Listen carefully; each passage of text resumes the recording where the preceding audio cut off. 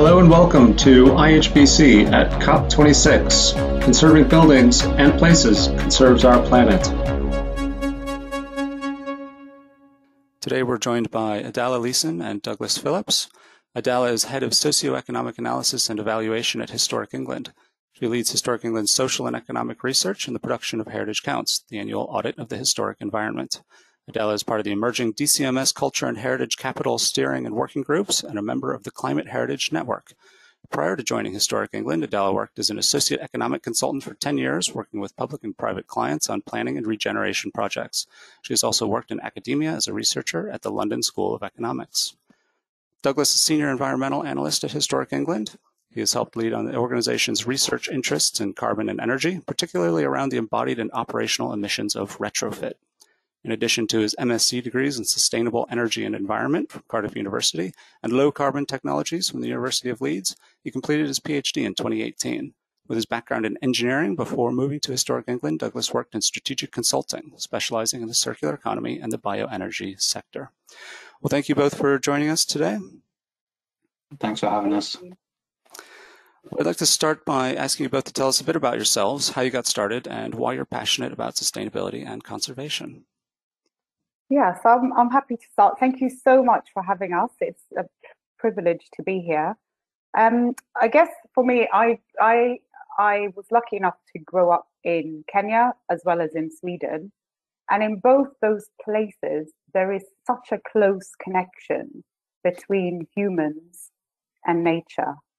Um, sometimes extremely positive, but also sometimes very negative. And I think that has always colored um, my direction of travel. I also had a grandfather who was a warden in the forest nearby where we lived in Sweden. So I've always had kind of been very close to nature and I've therefore just naturally somehow progressed into studying environmental economics and economics. Um, and then I've arrived um, into the heritage sector about seven years ago. And again, that connection we have to nature, to the environment, is really critical and it's part of our everyday lives. And I think that just experiencing that is how I've come to really want to know more and to think more about the solutions and mitigations. Um, and I'm really positive about where we can go if we put effort in at this early stage. Yeah, and um, I, I've had a, an interesting uh, sort of pathway into into this role, and I could probably spend 20, 30 minutes talking about just how I got to, to, to this position. But um, it was that sort of interest of um, being outside and being in the environment that led me to do my undergraduate in forestry, and then through many different sort of uh, uh, stops in in my life, I ended up deciding I, I wanted to do something uh, that that makes a difference. And I think that's been the thing that's really sort of pushed me um, in, into this area. Really, is that I, I want to make a difference. It might only be a small small difference, um, and making tiny changes is something that I uh, like live by. But um, yeah, it's all pushed me into doing my masters and going on to study further and, and, and get my doctorate. And then um, moving uh, sectors as well. I, I, started in, in a different sector and the opportunity came to, to, to move to Historic England. And I think it's really important to have a wider understanding of how different sectors work and interact with one another. So it was a, an opportunity that I jumped at and through the last couple of years, getting a, a real appreciation for, for, for, heritage and sustainability and co conservation and bringing some of the skill set that I have from a different sector. I, I hope I've helped to make tiny changes. Yeah, fantastic. Um, Adala, you presented in the 2020 IHBC annual school, and I remember you talking about sort of question of whether or not to quantify heritage values, and ultimately making what I thought was a very compelling case that we should, because uh, if you don't do it, uh, heritage just sort of gets sidelined and you know sort of ignored. Do you think there's sort of related situation here where oftentimes heritage values have not been included in the conversation about solutions to climate change because there's maybe an unwillingness or an inability to quantify it? Yeah, absolutely. I think we really, really underestimate heritage and sometimes we don't even count it. Um, and because I'm an optimist, I would say it's not about unwillingness, it's much, much more about inability. Um, and the argument we make is this: so heritage has value. It has value to people. It has value to communities and to societies at large. But those values are multiple. They're multidimensional. They include social. They include economic and environmental values. But using our conventional methods, the methods we're used to, the orthodox methods, particularly within economics, it is difficult to measure these values. But we are at a place now where increasingly there is a growing number of voices that are saying we have to do the difficult thing. Um, we're seeing much more data out there, much more data available, and we know that we need to start analyzing and using this information in different ways.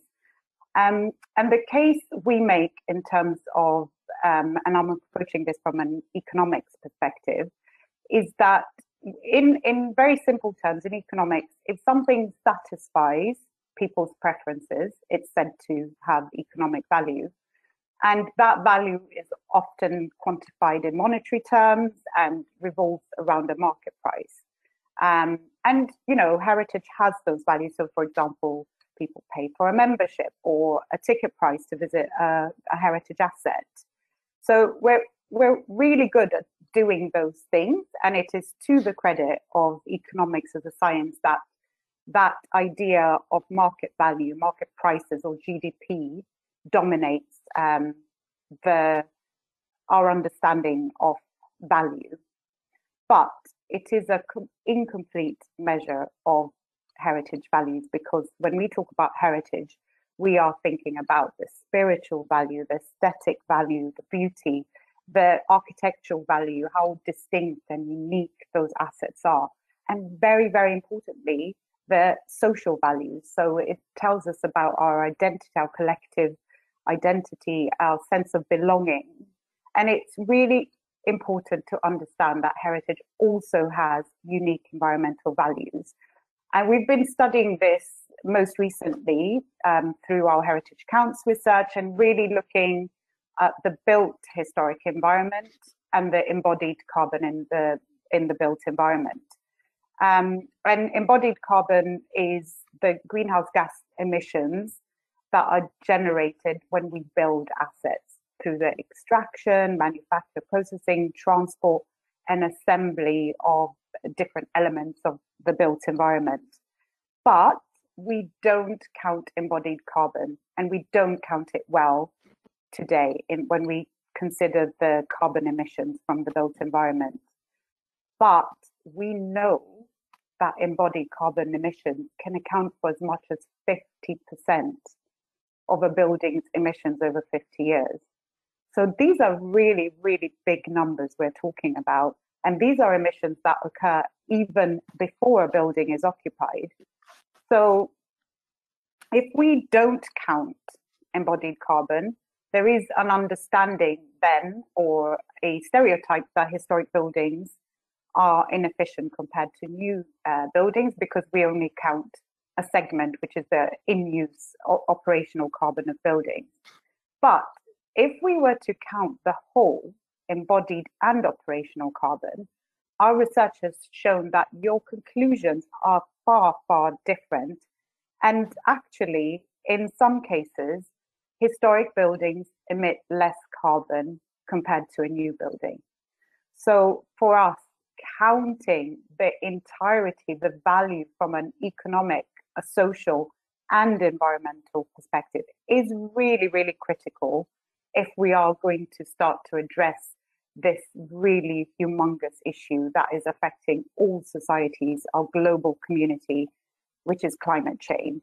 We have to be able to understand the big picture. It is complex, but there are methods, there are techniques out there that we can start to adopt, and we need to move quickly. So, for me, from an economic perspective, what we tend to talk about is market failure. That there just are these there is a lack of information. And that's why i think it's more about inability rather than unwillingness um, to count these things. But i'm optimistic that with a bit more work a bit harder work quick we need to move quickly And I'm talking from a public sector perspective, but private firms are also in the same position and they're starting to think about this and take this really seriously. And I think we can start seeing movement in the next few years. I mean, yeah, hard, hard to treat buildings you often come across it sort of speaks to that inability to quantify.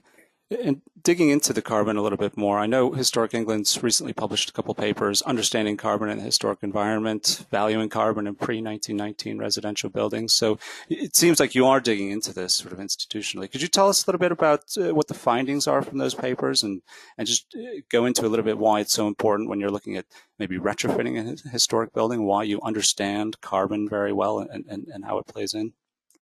Yeah, so this sort of like um, feeds into a lot of what Adala's just been talking about there. And um, until fairly recently, the, the, the, main focus has always been on, on the operational emissions. So um, looking at ways to reduce emissions around energy efficiency. So reducing, uh, well, replacing your lights with more energy efficient lights, those types of con conversation. But the embodied carbon um, until about well less than 10 years ago it wasn't really a, a, a, sort of widely accepted or talked about thing and over the over the last decade, that has started to change. A lot more research has, has gone into that and understanding that. But the the conversation has still always been more he heavily weighted towards that energy efficiency and operational element.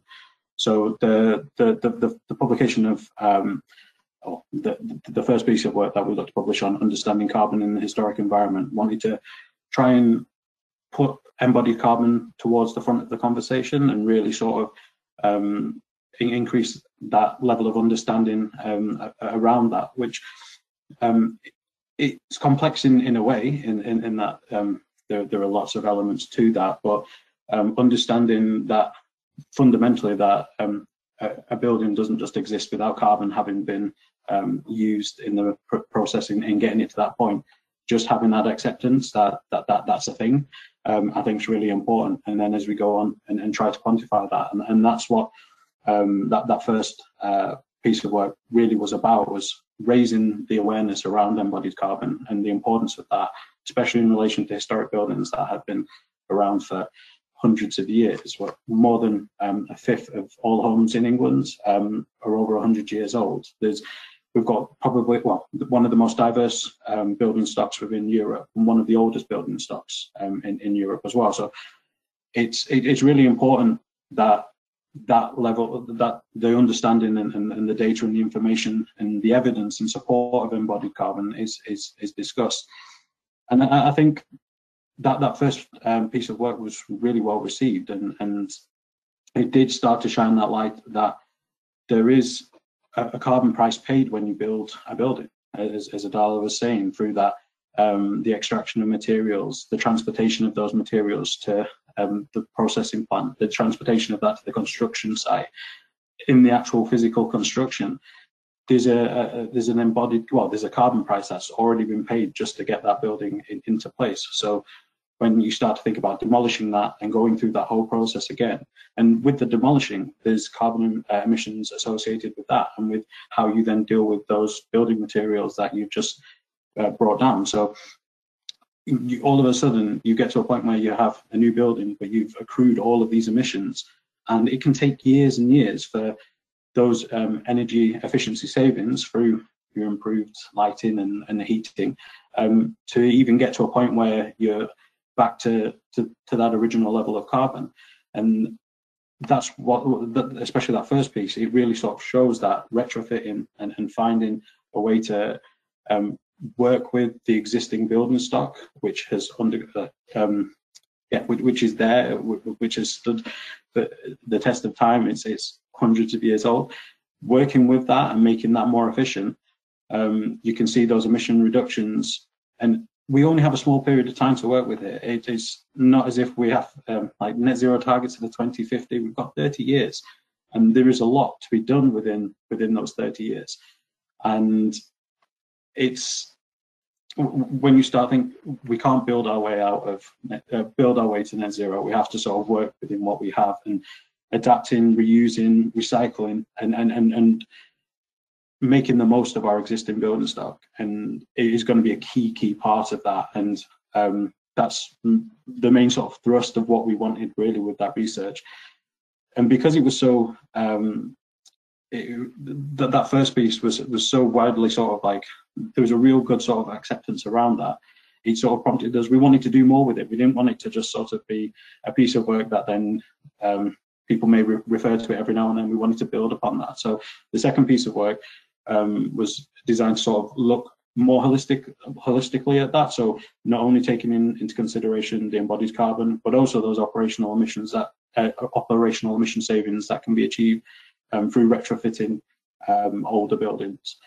And adapting and, and reusing um, existing buildings is, is a key part of what we're trying to do with net zero, that we want to have those conversations with the wider sector and that it can form a, a key part of the future and, and how heritage can sort of um, push that forward. And I, I, won't go through all of the, the results from, from that research because there are so many pieces of research right. work there. Um, but I think a, a, lot of the takeaway is um, around that it's feasibly possible. There's, um, which I think is an important starting point.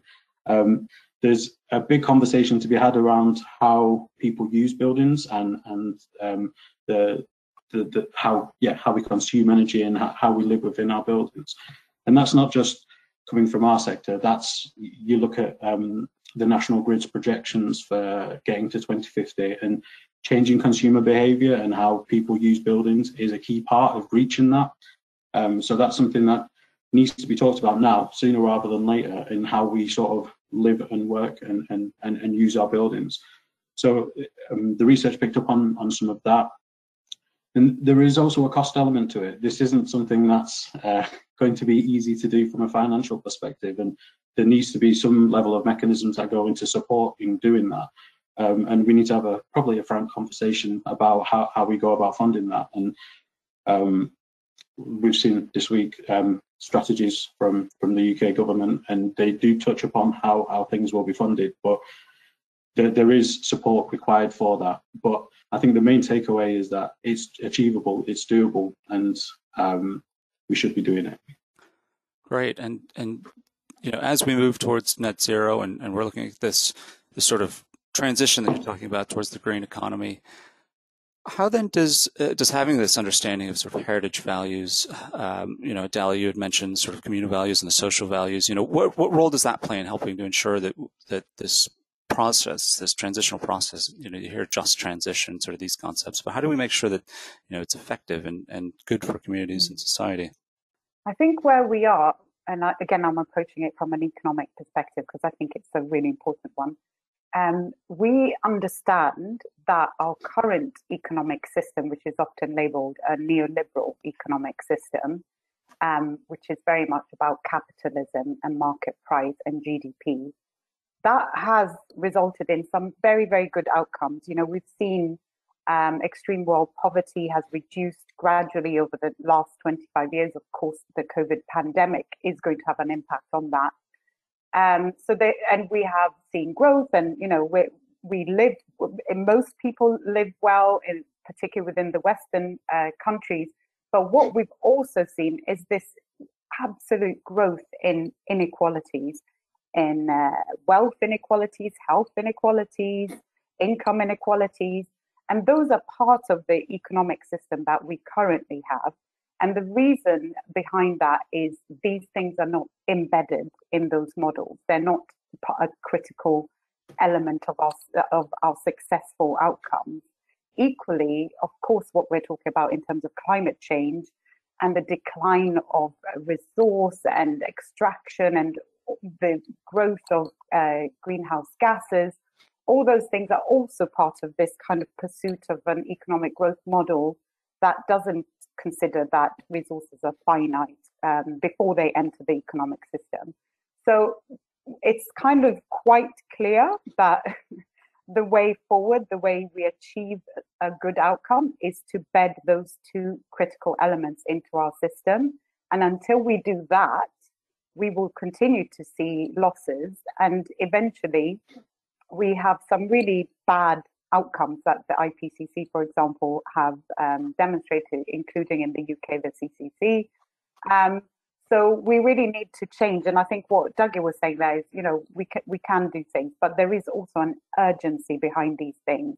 And there is such a strong link between uh, well-being, people's well-being, um, people's welfare, and the environment, um, as is, of course, to the e economy. So we have to start kind of having a bit more parity um, in these things. And there are some really interesting, I, I, would say economics is in a bit of a state of flux. There's lots of interesting theories that are coming forward and green economy is is one of those. We have a circular economy model that we talk about. There is donut economics, um, evolutionary economics, ecological economics. There are all these kind of really interesting theories. We yet to see kind of one bubbling up to the surface, but maybe it's because the future is a little bit different that um, there isn't a one size fits all that we need to start using these different models. But ultimately, the goal is to make sure that people and the environment are part of that metric of what success is.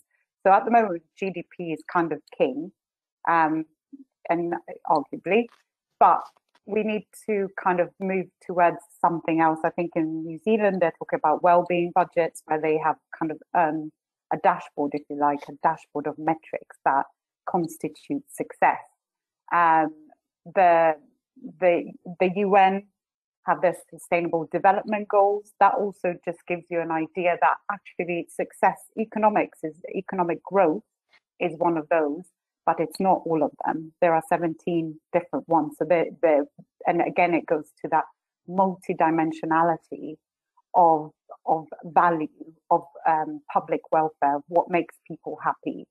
Um, and I think from the public sector perspective, this is really, really critical because we need we need um, in the UK we have the Green Book, which kind of steers and guides how we look at uh, costs and benefit appraisals.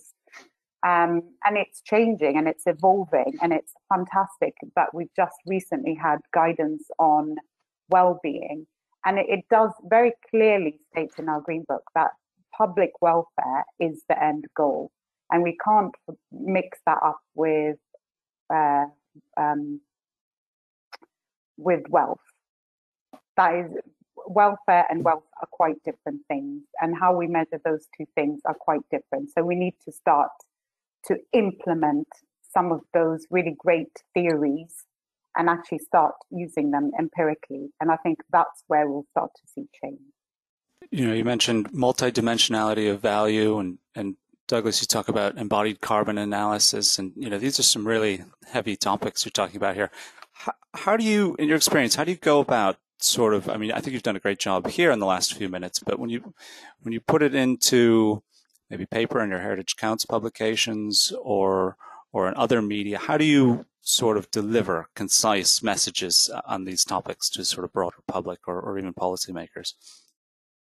It's it's a difficult thing to do, um, and it's something that we can always do better. I feel, um, and there's no sort of if, if you get to a point where you think you've got it right, then you, you, you're not doing it right because you should always be looking to to, to make it better and, and, and improve upon it. And so, so, when it came with, to, to, to, our Heritage Counts documents, um, one of the things that we, we really wanted to sort of push was to try and make it available to, to all people as understandable as possible. So using visuals, using data in such a way that, that it can be um, understood and interpreted by not just somebody who's got years of training in it and, and that sort of educational background, but anybody who, who picks up the document can at least start to get an idea and an understanding.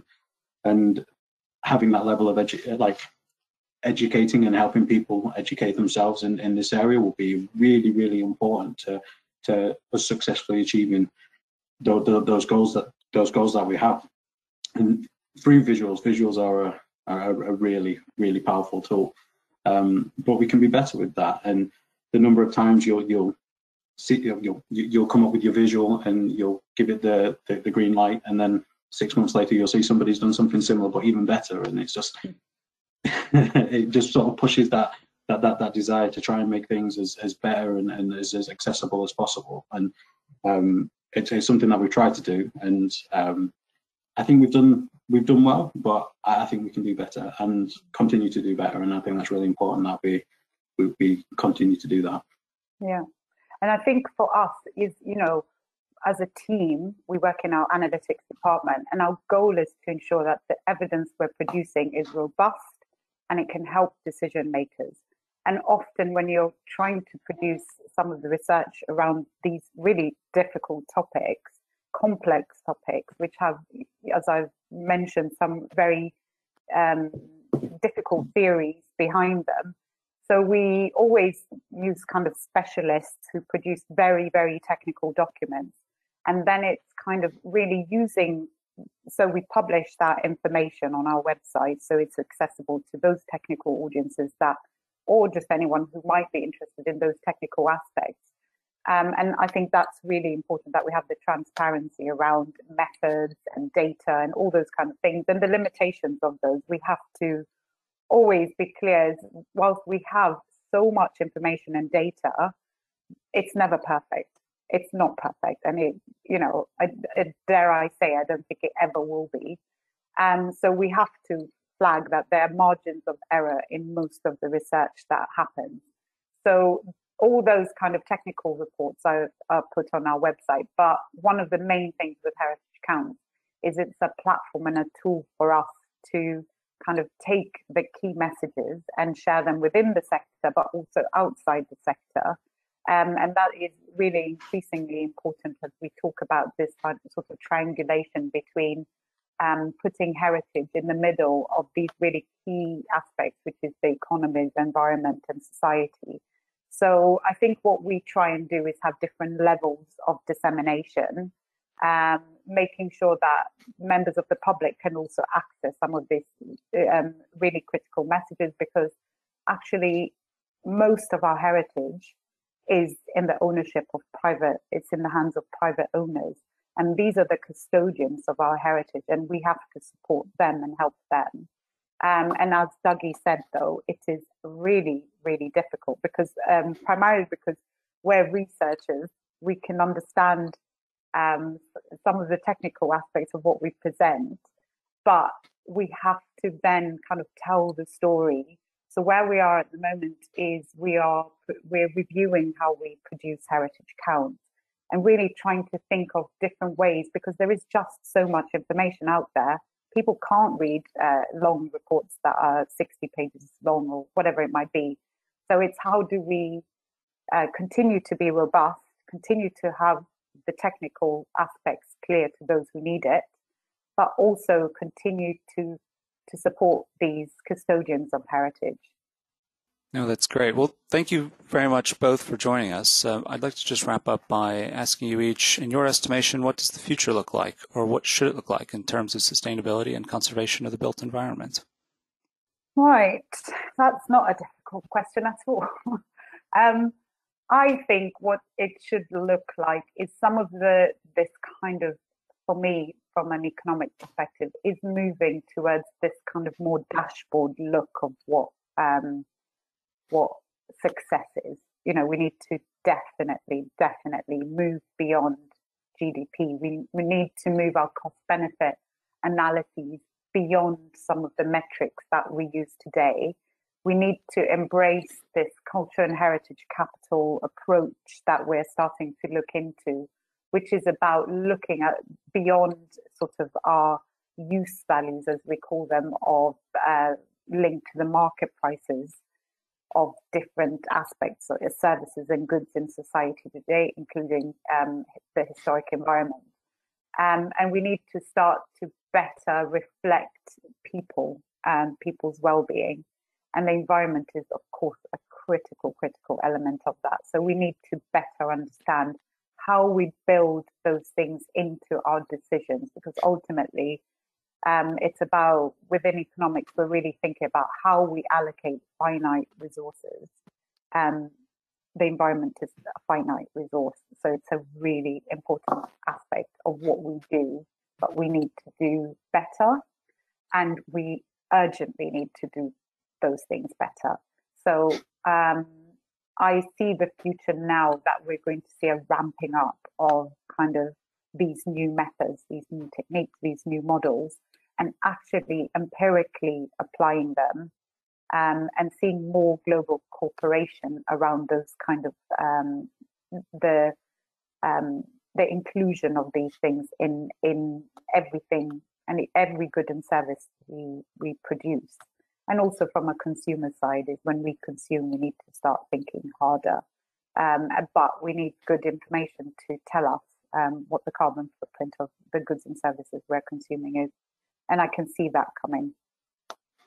I'd, uh, I'd agree with a lot of what, well, with all of what Adala has just said. One of the things that um, I think well, really, really important um, relates to collaboration and um, working um, not just within the sector, but also outwards and, and with other sectors, because ultimately um, there are so many different skill sets, different um, knowledge sets that exist throughout uh, our organization, the sector.